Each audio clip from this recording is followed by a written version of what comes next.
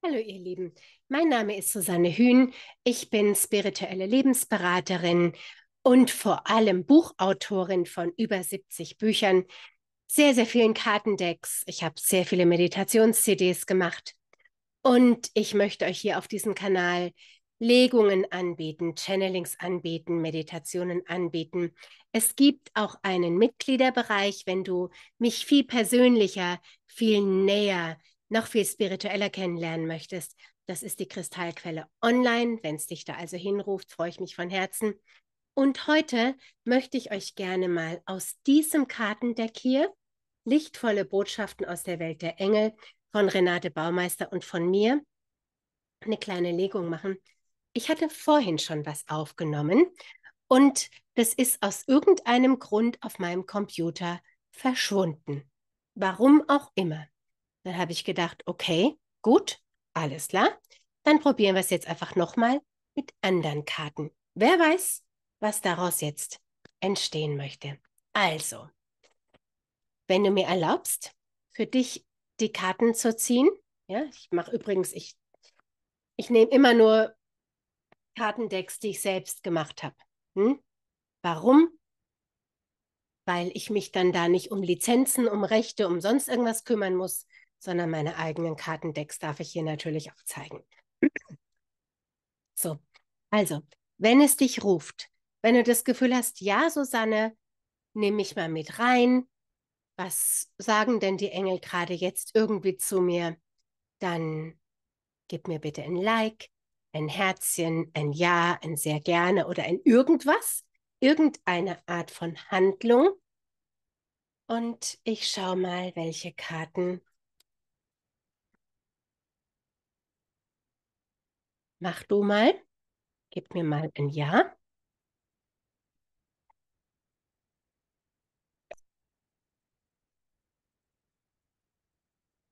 Okay. Lichtvolle Welt der Engel. Was dürfen wir denn gerade?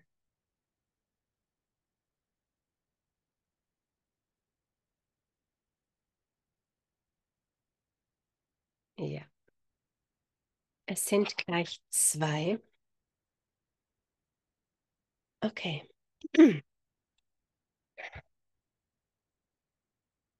Für die Numerologen unter euch die 41 und die 23. Was ich spannend finde, es sind zwei Primzahlen. Es geht also um dich und um die Einheit mit dir. Eine Primzahl ist durch sich selbst und durch eins teilbar. Und wir haben den Einklang. Bring deinen Körper und deine Seele in Harmonie. Das bedeutet, nicht nur bringe dich in Einklang, sondern erinnere dich an deinen Einklang mit dir selbst. Und das ist, was ich auch gerade sehr deutlich spüre. Ich spüre mich gerade sehr zurückgezogen, sehr so bei mir, möchte gerade gar keine großen Geschichten da irgendwie im Außen rausgeben oder hören und spüre, dass sich in mir eine Wandlung vollzieht. Und das ist hier die zweite Karte, die Transformation. Eine vollständige Wandlung will geschehen. Und eine vollständige Wandlung bedeutet, dass du aus deinem kompletten bisherigen, ich möchte es mal Medizinrat nennen, aussteigst. Medizinrat bedeutet, du bist hier in der Mitte mit deiner Seele, mit deinem Bewusstsein, allem, was du bist. Und hier außenrum hast du, hast du deine Fähigkeiten, deine Kräfte, die Tatkraft, dein Feuer mit der Frage, wofür brennst du? Dein Körper mit der Frage, was nährt dich, was nährst du? Wie hältst du deine Energie? Hier unten haben wir das Wasser. Was bewegt dich? Und hier oben haben wir die Luft. Die Luft ist die Verantwortung, die Visionen, die Frage, was beflügelt dich? Hm?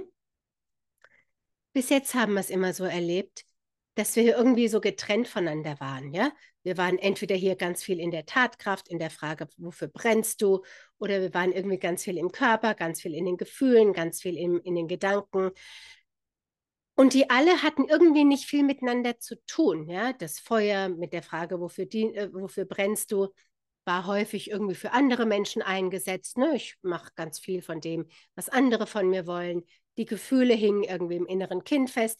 Die Luft war irgendwie wie, als ob dir einer so mit einem Pumpspray so seine Gerüche, ne, seine Düfte in deine Klarheit mit reinbringt. Ne? So die Ideen der anderen, die Überzeugungen und Glaubenssätze der anderen waren irgendwie sehr wichtig.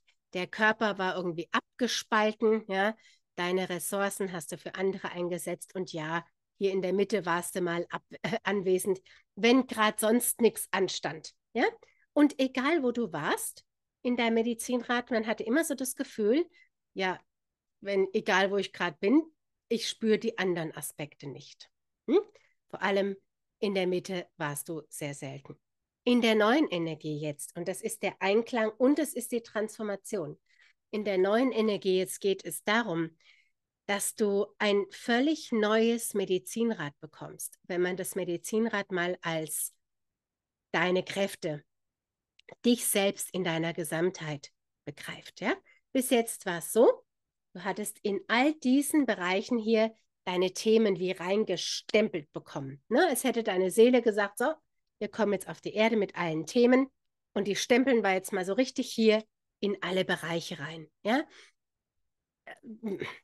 Alle Themen, die du halt so hattest. Ja, ich wollte jetzt gerade anfangen, Themen aufzuzählen, aber vielleicht hast du ja ganz andere. Ja?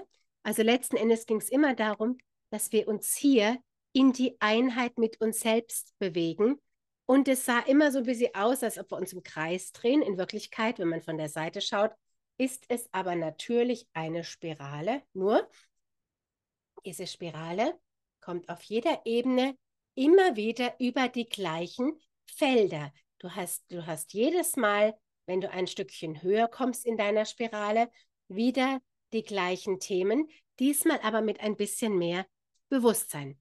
Was bedeutet Bewusstsein in dem Fall?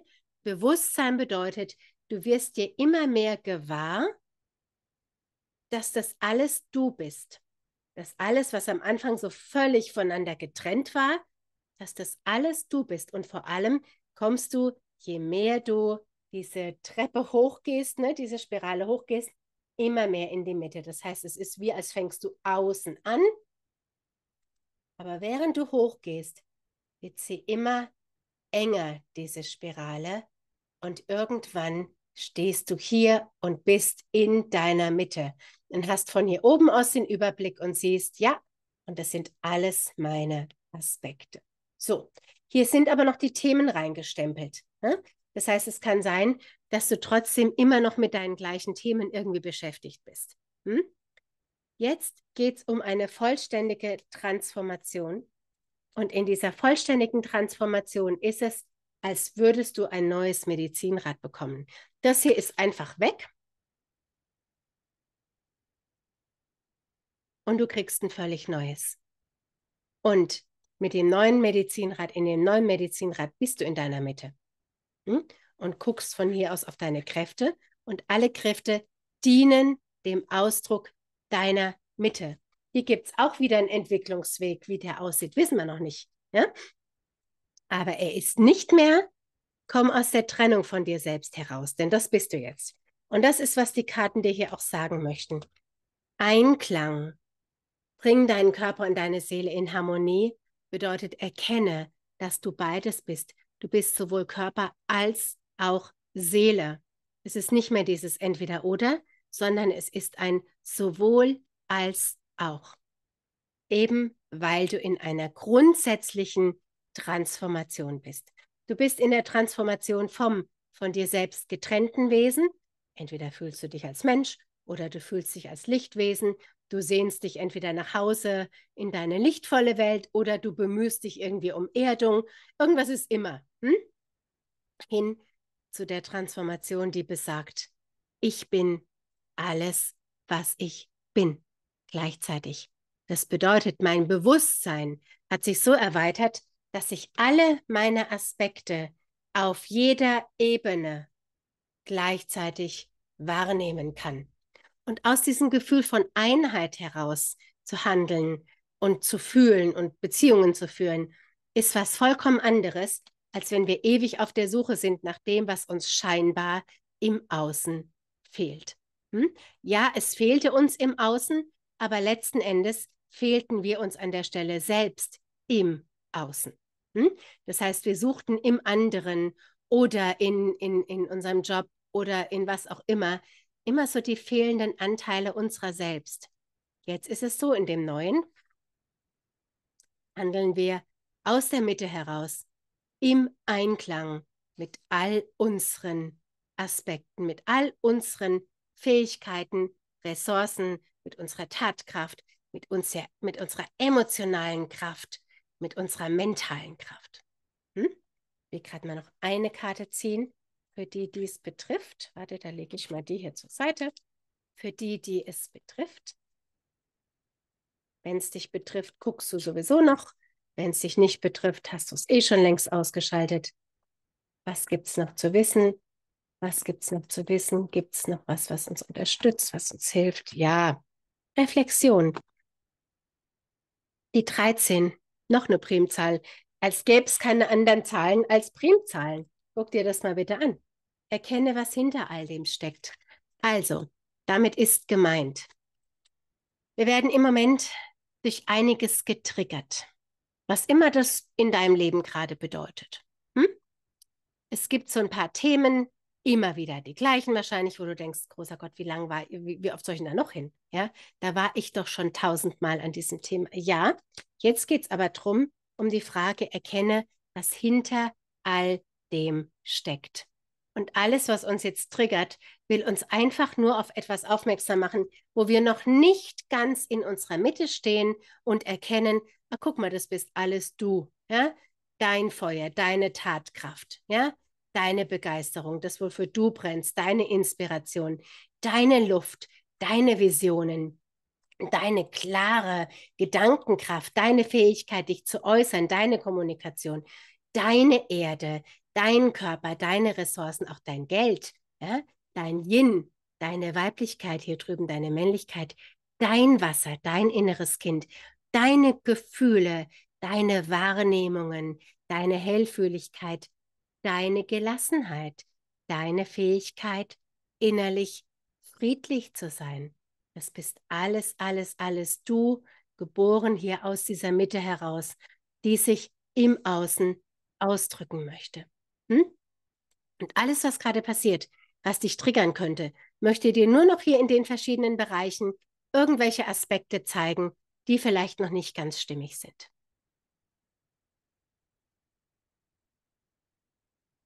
Beispiel dazu.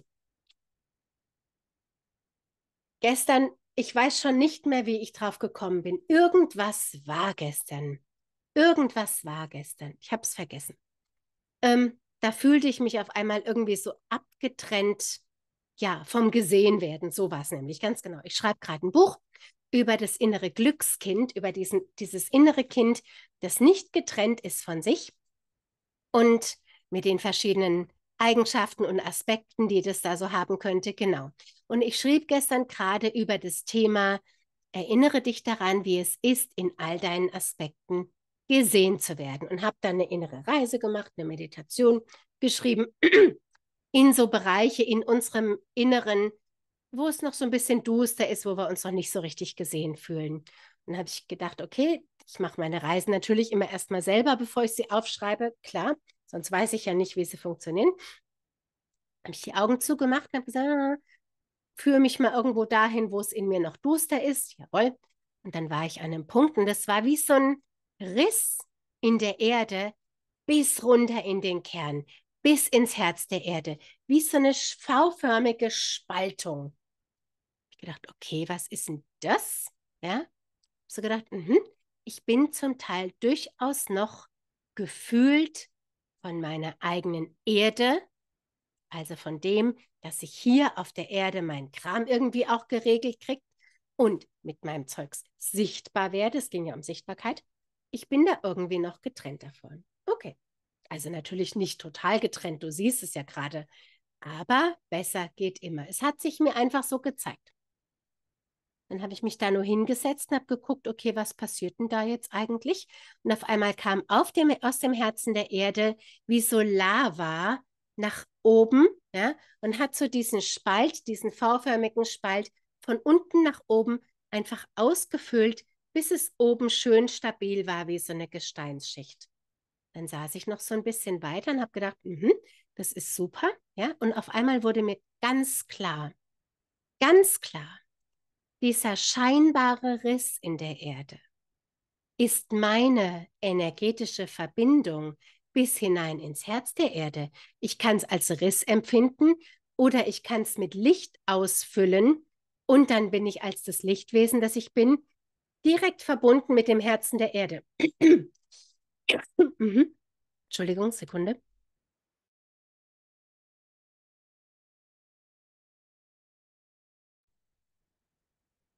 Entweder das berührt gerade was in dir oder in mir oder ich habe heute einfach schon zu viel gequatscht. Ich war auch letzte Woche ziemlich erkältet. Ähm, ich saß also so da und habe gesehen, aha, es ist beides gleichzeitig. Ich kann das Ganze mit der Lava, mit dem Gestein erfüllen, dann ist es stabil. Oder ich kann, also und gleichzeitig kann ich es als lichtvollen Spalt sehen, der mich mit dem Herzen der Erde verbindet. Und beides gleichzeitig stimmt. Und auf einmal war das so ein wechselndes Bild, je nachdem, in welchem Zustand ich mich gerade befinde. Wenn ich gerade Stabilität brauche, dann kann ich mich da draufstellen als ja, Erdwesen und es ist mit Gestein gefüllt. Wenn ich gerade in einem sehr lichtvollen Zustand bin, kann ich als das Licht, das ich bin, mich ganz tief verbinden mit dem Herzen der Erde gleichzeitig. Und diese Gleichzeitigkeit, das ist das Neue, das ist die Transformation, das ist Körper und Seele zugleich zu sein. Hm? Vom Bewusstsein her zugleich in der Mitte des Medizinrades. Ich bin Erde, ich bin Lichtwesen, ich bin Mensch, ich bin Seele, ich bin Spirit, und ich bin ein Ausdruck von Gaia. Alles gleichzeitig stimmt. Und da gehen wir immer, immer mehr hin. Und nochmal, was die Karten von dir wollen, ist, dich genau daran erinnern und immer dann, wenn irgendwas komisch ist, wenn irgendwas sich gerade blöd anfühlt, einfach mal schauen, okay, will da auf eine Trennung noch aufmerksam gemacht werden? Oder war sogar die Trennung nur eine Illusion und du hast es bis jetzt als Trennung verstanden, weil der Auftrag eben nun mal war, erforsche Trennung. Und wenn du jetzt aber mit den neuen Augen schaust, aus 5D heraus, aus den Augen des Einklangs, mit den Augen der Einheit, dann siehst du vielleicht, nein, es war in Wirklichkeit gar keine Trennung, sondern einfach, ja, wie bei mir eben, eine Möglichkeit, als das Lichtwesen, das ich bin, direkt mit Mutter Erde in Kontakt zu kommen. Eine Karte wollt ihr noch? Zumindest fühle ich das bei einigen gerade. Da mische ich schon das Büchlein mit. Das kann man machen, aber man muss es sicher nicht unbedingt noch schwerer machen. So, welche Botschaft gibt es noch für die, die jetzt noch fragen? Ja, aber Susanne, wie soll ich denn das machen? Was ist denn da jetzt noch damit gemeint? Ich kann es ja nicht ändern, gell? Jetzt habe ich ja schon wieder die Einheit gezogen und zentriere dich und erkenne deine Herzenswahrheit. Es geht wirklich nur, nur, nur noch darum, hier in deine Mitte zu kommen.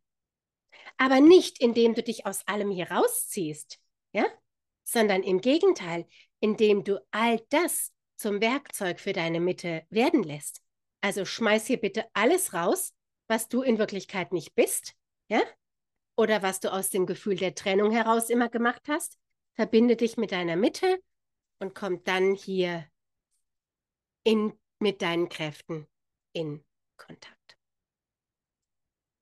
So, ihr Lieben, ich hoffe, das hat euch geholfen.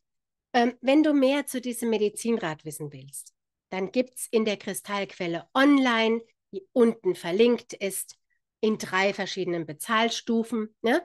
Kristallquelle online, Kristallquelle Gold, Diamantquelle. Du kriegst überall die gleichen Inhalte. Es ist nur je nachdem, wie viel Beitrag du gerne leisten möchtest. Manche möchten ein bisschen mehr geben, Manche können nicht so viel geben, deshalb habe ich das jetzt mal so gestaltet. Da kriegst du einen Medizinradkurs. Den musst du dir da ein bisschen zusammensuchen. Da sind noch viele andere Inhalte drin. Es steht vorne dran, aber bei den Videos immer Medizinrad. Ja, also falls du da Lust drauf hast, dann komm doch einfach in die Kristallquelle, Online Gold, Diamantquelle, was auch immer du magst, und schau dir diesen Medizinradkurs an. Da lernst du noch ein bisschen mehr über dieses Modell hier, weil ich hier sehr gerne mitarbeite. Ihr Lieben, da lassen wir es mal stehen für heute. Wie gesagt, äh, Kristallquelle ist verlinkt. Dann sehen wir uns da vielleicht bald und wenn nicht, dann eben einfach hier auf diesem Kanal. Bis bald!